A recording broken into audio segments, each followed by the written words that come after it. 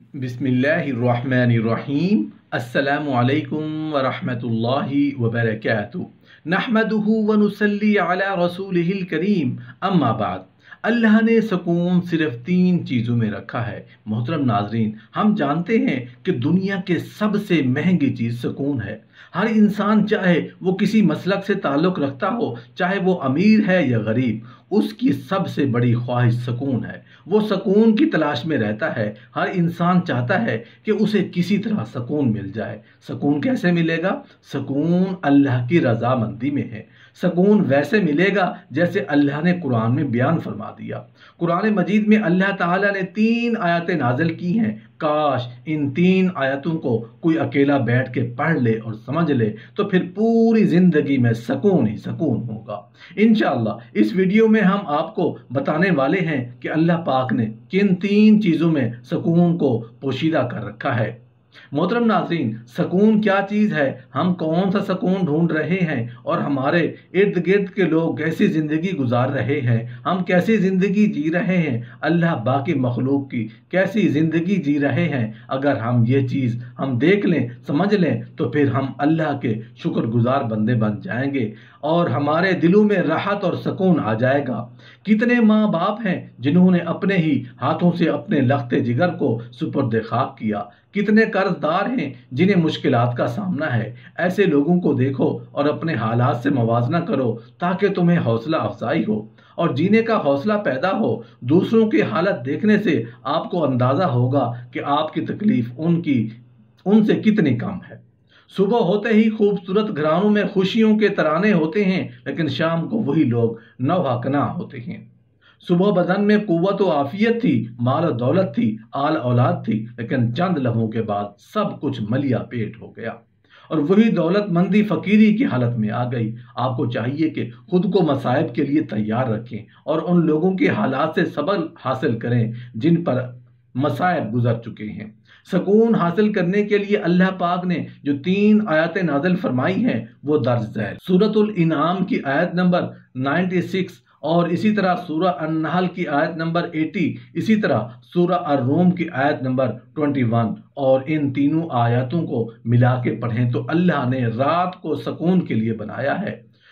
दूसरी आयत में फरमाया, अल्लाह ने तुम्हारे लिए घर को सुकून बनाया है। तीसरी आयत, अल्लाह ने तेरा तीसरा सुकून बीवी को बनाया है।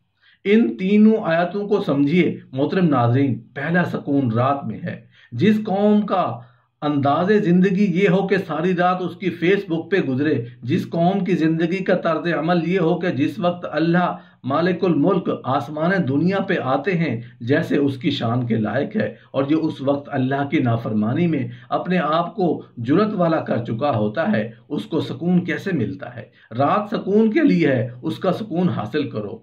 दूसरी बात कुरान मजीद में अल्लाह रब्बुल इज़्ज़त ने उसके घर को सुकून कहा है। जब मेरी चाहत ये हो कि मैं घर में नहीं सोना चाहता, मैं आज फुला जगह और फुला जगह सोऊँगा, मेरी रात किसी और जगह गुजरेगी, ये शख्स सुकून नहीं ले सकता।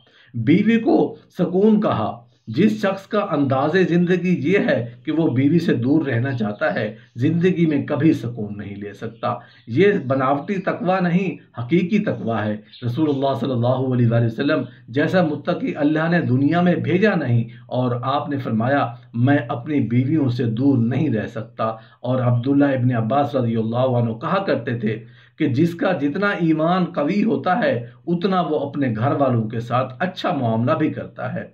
और उनसे दूर नहीं होता। और जितना उसका ईमान में खलल होता है, उतना वो अपने बच्चों और बीवी से भागता है। इसलिए उलमा ने इन तीन आयतों को जमा किया।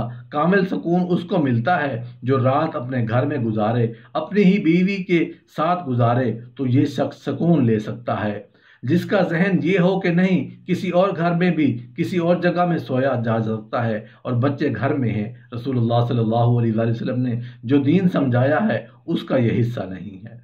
सुकून चाहिए तो इन तीन चीज़ों का एहतमाम कीजिए। हर किस्म की परेशानियों से बचिए, वरना आप कमज़ोर हो जाएँगे। दिल मुरझा जाएगा और अल्लाह ताला पर बदगुमानी पैदा होगी। परेशानी से नफ्सियाती अमराज का शिकार होंगे, वसाविस पैदा होंगे, जोड़ों का दर्द पैदा होगा, परेशानी के सामने निढाल होना और फारग और बेकार बैठने से परेशानी बढ़ती है। नमाज़, तस्बीहात और अच्छी किताब के मुतालिया में खुद को मसरूफ़ रखिए और यूँ अपने जज्बात को काबू में रख कर अक्लमंदी का सबूत दीजिए।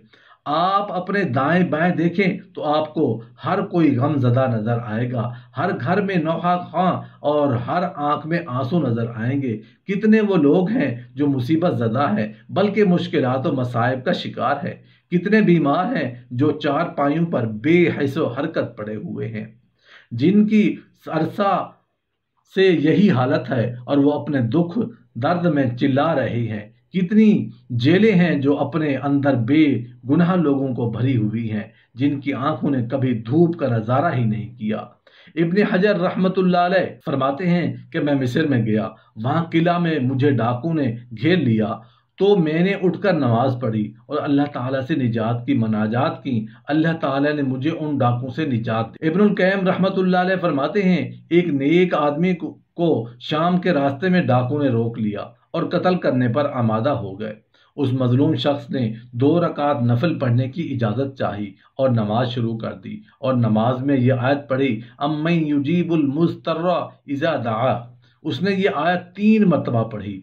अल्लाह ताला ने उस मुस्तरब की नुसरत के लिए आसमान से फरिश्ता नाजिल फरमा दिया, जिसने डाकुओं को कत्ल कर दिया और उस आदमी को निजात में अल्लाह ताला ने इंसान को इसलिए पैदा फरमाया है कि वो इबादत के ज़रिए उसकी शुक्र गुजारी करे। लेकिन कितने लोग हैं जो गैरुल्लाह की इबादत करते हैं, जो कि गैरुल्लाह का शुक्र अदा करता है। इंसानी तबीयत में ना शुक्री गालिब है। इंसान को चाहिए कि गम ज़दा ना हो। जब आप किसी के साथ एहसान करें और वो आपको ठुकरा दे तो आप उस नेकी को भूल जाए कि आपने किसी के साथ एहसान किया है। जिस खालिक की खुशनुदी के लिए आपने ये नेकी की है, वो बड़ा कदरदान है। लिहाजा एहसान का बदला ना मिलना पर रंजीदा ना हो। आपका एहसान जिस अजीम आमाल नामे में दर्ज हो चुका है, वहाँ वो वाजे है। वालद बेटे के साथ क्या क्या एहसान करता है? तालीम और तरबियत और खुर्द नोश के कितने मराहल हैं, जिनमें वो अपनी ख्वाहिश का गला दबाकर औलाद की राहत को तरजीह देता है, ताकि औलाद राहत की नींद सो सके। यही बच्चा जब बड़ा होता है और वालद की नाफरमानी करता है तो उस वक्त वालद के दिल पर क्या गुजरती है? लेकिन वो ये सोचकर खुद को मुतमैन कर लेता है कि औलाद की परवरिश अल्लाह की रजा के लिए थी और वो जानता था और जो देखता है कि वो बड़ा कदरदां है, वही उसकी जजा देगा, उसके खजाने में कोई कमी नहीं।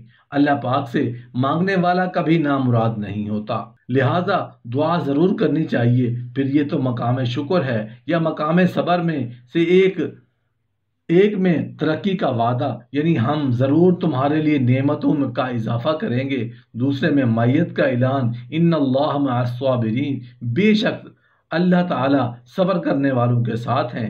जान लीजिए, ये दुनिया मोमिन के लिए जेल है, जो कि मसायब का घर है। मेरी अल्लाह रब्बुल इज़्ज़त से दुआ है। अल्लाह रब्बुल इज़्ज़त आप सबको दुनिया और आखरत में और कवर में सुकून नसीब फरमाए। आमीन या रब्बल आलमीन।